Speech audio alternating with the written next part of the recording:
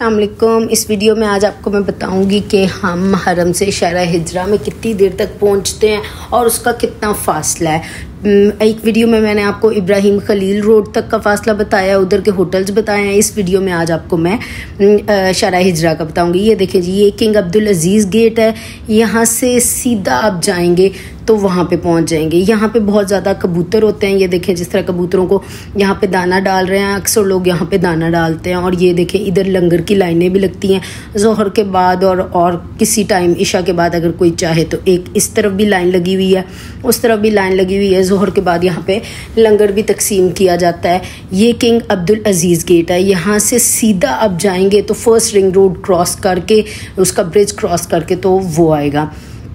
ये देखें जी, ये माशाल्लाह दूसरी लाइन भी लग गई है। यहाँ पे लंगर तकसीम किया जा रहा है और लोग जो है ना, बहुत ज़्यादा शौक से यहाँ से आके लंगर लेते हैं।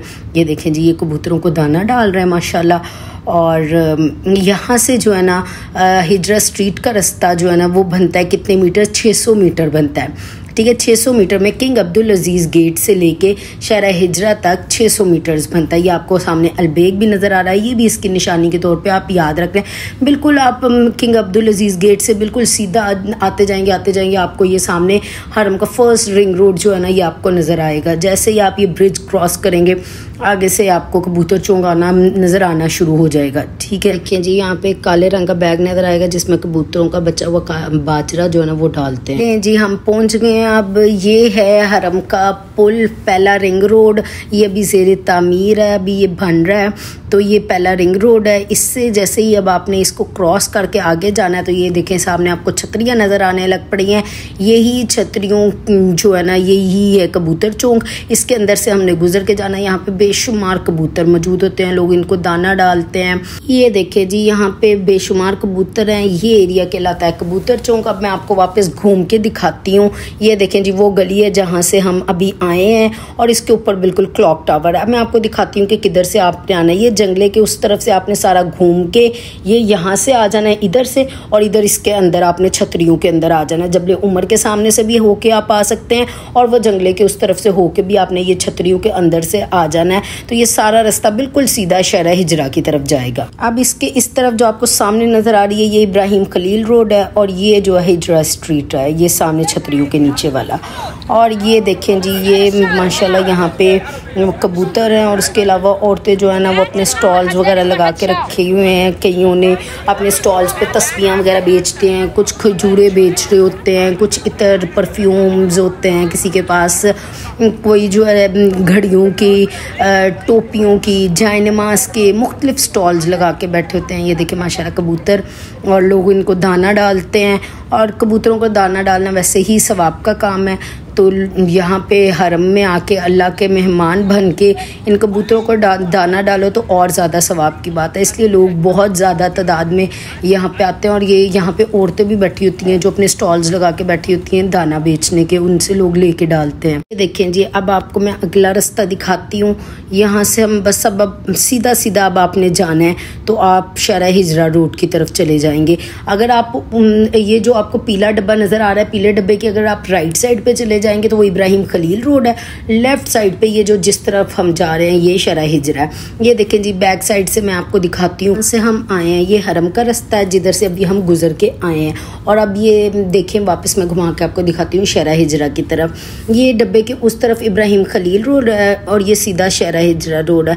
आपने कहीं इधर उधर नहीं जाना, बस सीधा हरम से आना है और वो ब्रिज क्रॉस करना है। उसके बाद वो जो उन्होंने वो बैरियर्स लगाए हैं, उसको क्रॉस करके आपने बिल्कुल सीधा छतरियों के नीचे से होके इधर आ जाना इधर आपको बहुत ज़्यादा से कबूतर नज़र आएँगे, आपको पता चल जाएगा आप कबूतर चौंक पे पहुँच गए हैं। और यहाँ से बिल्कुल आपने सीधा आ जाना तो ये शहरा हिजरा रोड आ गई है आपकी। तो अब ये देखिए ये वापस मैं आपको दिखाती हूँ, ये हरम का रास्ता है, और ये आ गया बिल्कुल आपका शहरा हिजरा पे आप पहुँच गए हैं। चलें जी, अब ये शुरू हो रही है शरा हिजरा की रोड। मैं अब आपको दिखाऊँ, माशाल्लाह, यहाँ से घुमा के, कि इधर से आपको क्लॉक टावर भी बिल्कुल सामने नज़र आएगा। नज़र बिल्कुल सामने आ रहा है, लेकिन यहाँ से 600 किलोमीटर का फासला है। ये शरा हिजरा की शॉप्स हैं, ये दो रियाल, तीन रियाल, पाँच रियाल, यहाँ पे सौ रियाल तक आपको मिल जाती है, दो से सौ रियाल तक। मैंने खुद यहाँ से शॉपिंग की हुई है, ये राइट साइड पे ये जो दो रियाल, सौ रियाल वाली है, और ये लेफ़्ट साइड पे यहाँ से भी मैंने शॉपिंग की है। जब मेरे रिलेटिव्स आए थे, मेरी फैमिली आई थी यहाँ पे रहने के लिए तो वो यहाँ पे ही, यहाँ पे ही एक होटल में रुके थे। तो तब हमने यहाँ से शॉपिंग की थी, मैंने गाउन्स लिए थे और काफ़ी ज़्यादा चीज़ें ली थी। आपको यहाँ पे हर चीज़ मिल जाती है। यहाँ पे सलोन्स हैं रेस्टोरेंट्स हैं इवन के आपको पाकिस्तानी होटल्स भी मिल जाते हैं। जैसे मैंने पहले भी अपने वीडियोस में बताया कि यहाँ पे आपको हर तरह की चीज़ मिल जाती है। यहाँ पे ज़्यादातर पाकिस्तानी इंडियन बांग्लादेश वगैरह वाले लोग आते हैं। ये देखिए शॉपिंग की, आपको हर शॉप में आपको हर चीज़ मिल जाएगी। बैग्स हैं, कपड़े हैं जाए नमाज़ है, ये होटल्स हैं, जो कि यहाँ पे ज़्यादातर पाकिस्तानी होते हैं। ये देखें जी, ये आ रही हैं बसेस बड़ी बड़ी बसेस हैं जो कि हाजियों को लेके आती हैं, वापस छोड़ के आती हैं। ये सारी बसेस हैं। यहाँ पे बहुत ज़्यादा होटल्स हैं। उसके अलावा यहाँ पे खाने पीने के लिए भी काफ़ी ज़्यादा होटल्स हैं। सारी बात है, जब यहाँ पे पाकिस्तानी इंडियन बांग्लादेशी रहते हैं तो उनके मुताबिक ही उनके खा, उनके मुताबिक ही उनके खाने पीने का इंतज़ाम यहाँ पे होटल्स में होता है। ये देखें, जहरतुल हरमैन यहाँ पे भी मेरी एक रिलेटिव थे, वो आई थी, वो यहाँ पे रुकी थी। इसलिए यहाँ के कुछ ज़्यादा होटल्स का मुझे पता है। ये देखिए पाकिस्तानी लाहौर होटल तो जारी बात है, पाकिस्तानी लाहौर होटल है तो पाकिस्तानियों के मैार के मुताबिक का ही खाना होगा ना। ये देखें उसके अलावा यहाँ पे लेफ़्ट देखें राइट देखें होटल्स ही होटल्स हैं। होटल्स के बाहर भी शॉप्स उन्होंने लगाई हुई हैं। और साइडों पे भी दुकान है। ये देखें यहाँ पे सिम बेचने वाले भी सिम बेच रहे हैं। ये जो ग्रीन से, ये ग्रीन ग्रीन और ब्लू ना जैन की मोबी की यहाँ पे मेरी फैमिली रही थी जोहरतुल फंदक महरतुल जवार में। यहाँ पे ये ये देखें जी, ये।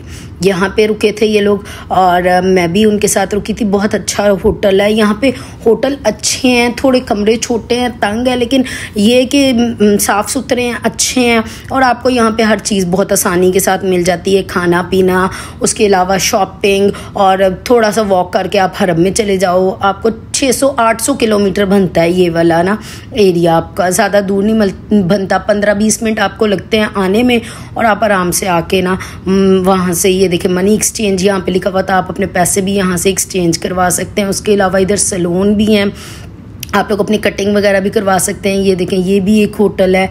उसके अलावा कभी कभी टैक्सीज़ वगैरह भी जो है ना, वो यहाँ पे आती हैं। आप उसमें भी बैठ के जा सकते हैं, हरम, अगर आप जाना चाहें। कबूतर चौंक से आपको टैक्सी मिल सकती है। इस एरिया को मिसफिला कहते हैं। ठीक है मिसफिला आगे जो चौंक है ना, उसको मिसफिला कुबरी कहते हैं। वो सामने कुबरी नज़र आ रही है मिसफिला कुबरी। उसको मिसफिला कुबरी कहते हैं। और ये जो है ना, सारा एरिया मिसफिला का कराता है, लेकिन ये जो है ना ये वाला एरिया जो है ना शहरा अल, हिजरा है शहर अल हिजरा और दूसरा वाला जो है ना, वो शहर है इब्राहिम खलील रोड है। ठीक है, ये देखें, ये एंड तक मैंने आपको रोड के आके दिखा दिया है। ये सारे होटल्स वगैरह के इतने अच्छे यहाँ पे होटल्स और ये देखें, हाजी ही हाजी हैं, माशाल्लाह, इतना रश होता है ना इन गलियों में, इन सड़कों पे, बहुत ज़्यादा रश होता है क्योंकि एंड तक आपको ना, जब आप बुकिंग वगैरह कर रहे होते हैं ना, आपको एंड तक जगह नहीं मिलती हैं क्योंकि माशाल्लाह इतने हाजी होती हैं, पाकिस्तानी, इंडियन, बांग्लादेशी, इतने ज़्यादा होते हैं कि आपको जगह ही नहीं मिल रही होती। है देखिए इस पर लिखा भी हुआ इंडियन तो कई कई होटलों ने अपने अपने मतलब मुख्तलिफ़ मुल्कों का अपने पे लगाया होता है कि यहाँ पे ये रह सकते हैं, यहाँ पे ये रह सकते हैं। सामने काफ़ी ज़्यादा होटल्स हैं।